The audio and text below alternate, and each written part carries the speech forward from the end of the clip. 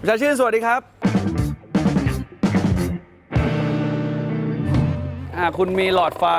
ไม่ว่าจะเป็นแบบกลมแบบฟลูออเรสเซนต์แล้วก็ถ่านไฟฉายนะครับ คุณควรจะแยกขยะเอาไว้ในจุดทิ้งของเสียอันตราย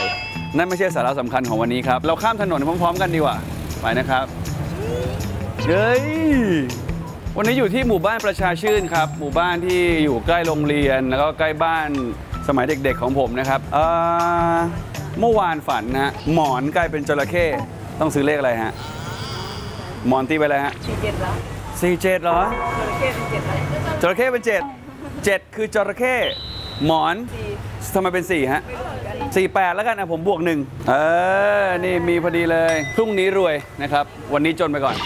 ขอบคุณครับ โชคดีแล้วจะมาบอกนะครับ การซื้อลอตเตอรี่นี่ก็เป็นอีกเส้นทางหนึ่งที่จะทำให้คุณสามารถลุ้นรางวัลได้ แต่ความเป็นจริง สำคัญกว่านั้นคือ หากคุณขยัน คุณก็จะทำงานสุจริตได้อย่างยอดเยี่ยม แล้วก็มีความสุขกับทุกวันนะครับ วันนี้ผมมีแบบอย่างของชายหนุ่มคนหนึ่งครับ ที่โคตรขยันแล้วก็เป็นเพื่อนรักของผมตั้งแต่สมัยเด็ก เดี๋ยวไปเจอเขาเลย เขามีชื่อว่าอูแมน อร่อยแรง แกงถุง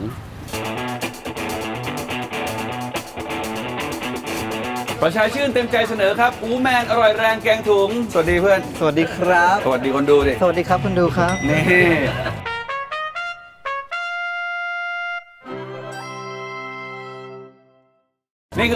คืออูนะครับอาทิตย์ศรีเจริญเพื่อนผมเองครับ และนี่ก็คือครอบครัวศรีเจริญที่น่ารักของพวกเขานะครับผมเคลมเคลมไปว่าคนที่ขยันที่สุดหนึ่งคนในชีวิตที่รู้จักมา คืออูอื้อหือขนาดนั้นเลยขนาดนั้นเลย คุณเอาหมดเลยตั้งแต่นี่ร้านเกม คุณก็ขยันสุด คุณหมั่นที่จะเดินไปเล่นเกมเร็วกว่าเพื่อนเก่งกว่าเพื่อน คุณหมั่นที่จะออกไปซื้อบอลคุณหมั่นที่จะกลับมาร้อยพวงมาลัยใช่ไหมมีกิจการหนึ่ง กิจการหนึ่งของคุณของบ้านคุณคือทำพวงมาลัยใช่ครับ ตอนประถม คุณอย่าครับนี่เป็นตัวเองนี่ที่คนที่ทิวกับหยีเตือนมาแล้วว่าเฮ้ยมีกล้องมาโอ้จะไม่เป็นโอ้นะโอ้จะเก่ง แล้วเนี่ยกิจการกิจการครักับ บข้าวกิจการกับข้าวคุณเนี่ยนี่รันมากี่ปีแล้วอันนี้ตั้งแต่ผมอยู่ม .2 ม .3 ผมเลยเหรอใช่ครับ คุณให้ผมเป็นคนดีมากสิครัโอบเคคุณเป็นคนดีโอเคโอเครันมาตั้งแต่อยู่ม 2ม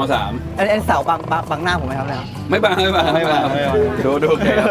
คือเป็นกับข้าวแบบซื้อกลับบ้าน ซื้อกลับบ้านอย่างไม่เยวได้ให้มานั่งกินขี้เกียจล้างจานอ๋อ นี่คือทฤษฎีเป็นอย่างนี้ ใช่ครับ มันไม่สะดวกด้วย อ่า ไม่ค่อยมีโต๊ะให้ลูกค้ากิน ให้ลูกค้ากลับไปกินกับพร้อมหน้าพร้อมตาที่บ้าน อ๋อ นั่นคือยุคก่อน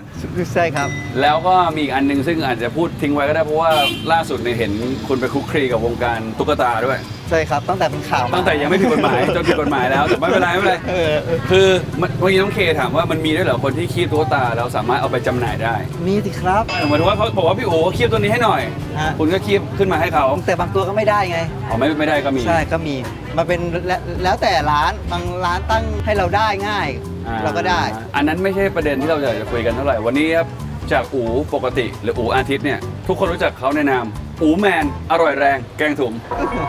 ถูกต้องครับ คือป้ายเนี่ยเมื่อกี้ดูเนี่ยมันเหมือนเออ เหมือนในละครไทยเลย เหมือนพระเอกมาแล้วก็มาตั้งร้านไข่ปิ้งอะไรอย่างเงี้ยอูแมนอร่อยแรงแกงถุงเกิดขึ้นได้ไง ช่วงนี้มันอะไรอะ ส่งถึงบ้านมัน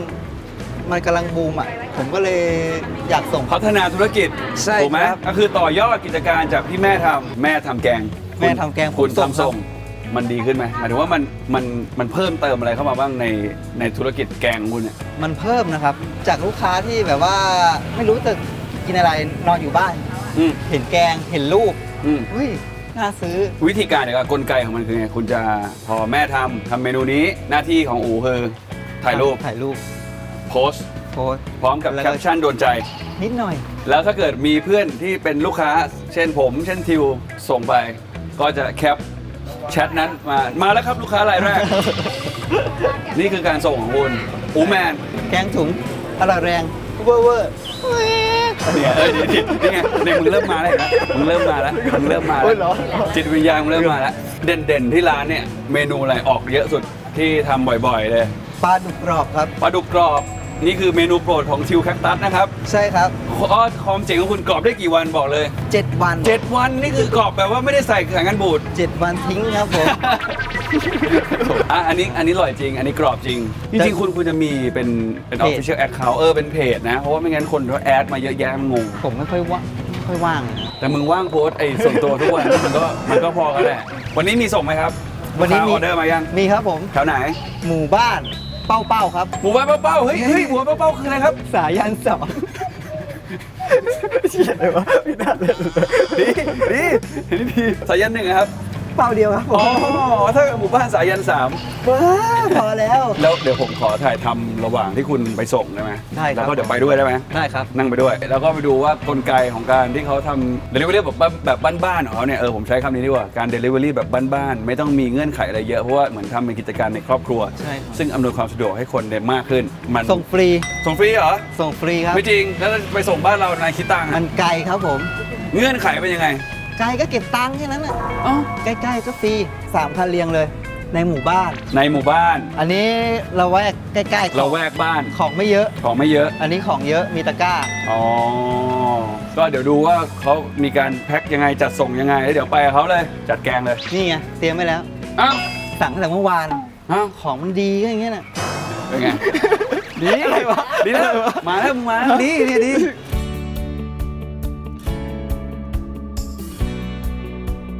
ขอบคุณครับคุณวาดพร้อมตลอดเวลาครับ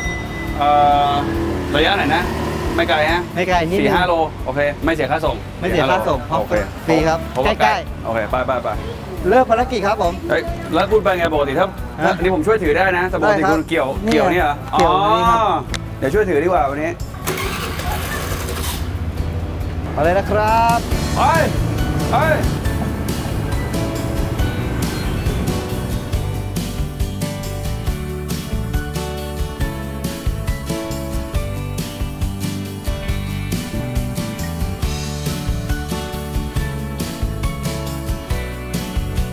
ข้าวผสมครับ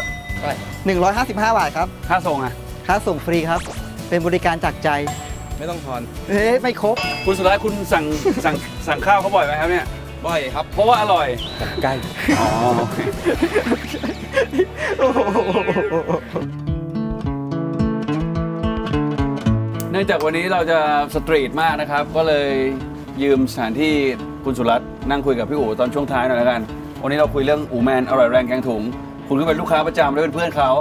แล้วคุณก็คุณก็เป็นเพื่อนผม ใช่ครับผมก็เป็นเพื่อนคุณ แล้วคุณก็เป็นเพื่อนเขา เพื่อนย่อมกินเพื่อนด้วยกันครับผมเดี๋ยวเดี๋ยวกินย่อมอุดหนุนเพื่อนด้วยกันยกเพื่อนครับอุดหนุนเพื่อนด้วยกัน ถ้าเราพูดถึงอูเนี่ยทุกคนจะที่เป็นเพื่อนกันยกเว้นความบันเทิงของเขาแต่พูดถึงเรื่องความขยันทำไมคุณขยัน ความจนนะครับ เฮ้ย ไม่จริง จริง บ้านคุณไม่โจรหรอก จน จริงเหรอจริงครับ จนเลยต้องทำมาหากินที่รายการบันเทิงไม่เอาแบบข่าวช่วยชาวบ้านนะเดี๋ยวเศร้านะเอาคุณทำงานได้กี่ขวบ คุณช่วยพ่อแม่ทำงานได้กี่ขวบ ครอบครัวค้าขายครับ ครับ ขายลูกชิ้นปิ้ง อ่าเออลืมเรื่องนี้ไปเลยขายพวงมาลัย อ่า ทั้งร้อยอ่าทั้งซื้อครับ แล้วก็ขาย และนี่คือต่อยอดธุรกิจด้วยการเป็นอูแมนอร่อยแรงแกงถุงได้ด้วย ถ้าจะคมๆเลยนะ ของประชาชื่นเนี่ย เรามักจะถามว่าความสุขของเจ้าของเรื่องที่มาสัมภาษณ์อะคืออะไรนะ ความสุขของอูแมนเนี่ย คืออะไร ความสุขของผมที่ผมตั้งไว้มี 3 อย่างอืม 1. อาหารสุกครับผมเฮ้ย อาหารสุกหมายถึงว่าอาหารมีความสุขอะทำอาหารให้สุกครับอ๋ออ่ๆเพราะลูกค้าไปต่อกินจะได้มีความสุข อ๋อและที่สำคัญคือร้านผมขายจันทร์ถึงสุกร์ครับผมเฮ้ย อาหารสุกลูกค้ามีความสุข ลูกค้ามีความสุข จันทร์ถึงสุก ขายจันทร์ถึงสุกร์สาระเต็มเต็มๆเทปนี้ ตอนนี้นะครับประชาชื่นอย่างเดียวเลยคือชื่อหมู่บ้านนะฮะพิกัดตรงไหน อยากเจออูแมนพิกัดตรงไหน ซอยสามัคคี 63 นะครับคือหมู่บ้านประชาชื่นนะครับ แต่แนะนำว่าถ้าอยากเจอเขาที่บ้านเนี่ยให้ส่งให้สั่งเขา สั่งก็ได้ครับ ต้องเข้าไปดูใน Facebook ส่วนตัวครับ คิดจะทำให้มันเป็นกิจลักษณะกว่านี้ไหมเป็นเพจ เป็น Line แอดอะไรเงี้ย มันต้องทำครับเพื่อเพื่อจะได้ต่อยอดได้มากกว่านี้ เพราะอันนี้ถ้าเท่ากับมันได้แค่ระแวกเพื่อน ใช่ แต่ก็ถ้าทำเนี่ยฝากมาเดี๋ยวช่วยๆกันแชร์แป๊บเดียวก็รู้หมด แต่ส่งใกล้ๆนะครับ ส่งแน่ส่งส่งไกลไม่ได้ไม่ต่อไปก็คุณก็เป็นเครือข่ายไงอ๋อไลน์เป็นใครก็ได้แล้วใส่เสื้ออูแมนโอ้เออเราจ้างส่งมอไซค์ผมเยอะด้วยจักรยานก็หนึ่งคันแล้ว อะไรของเราวะเนี่ยมันจะมีอันหนึงเวลาแบบแขกรับเชิญคนอื่นเนี่ยนะอ่าฮะเขาทิ้งท้ายเนี่ยเขาก็จะมีข้อคิดดีๆ ฝากไปถึงน้องๆ บางคนเพิ่งเรียนจบมาอย่างเงี้ยยังยังไม่เจอความสุขของตัวเองฐานะของคนขยันเนี่ยมีอะไรบอกน้องๆไหมเด็ก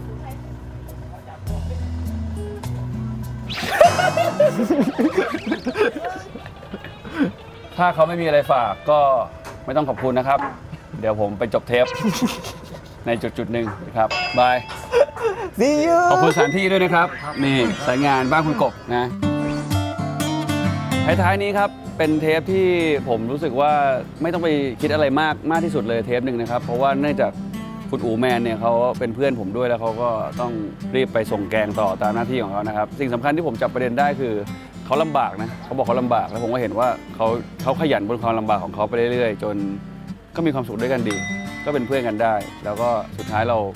เปิดหัวใจให้กับความเรียบง่ายของชีวิตนะครับก็แค่นั้นเอง วันนี้แยกย้ายดีกว่า เพราะว่าพี่อู๋เขาบอกว่าไม่มีอะไรจะฝากนะครับบายอยากจะรู้น้า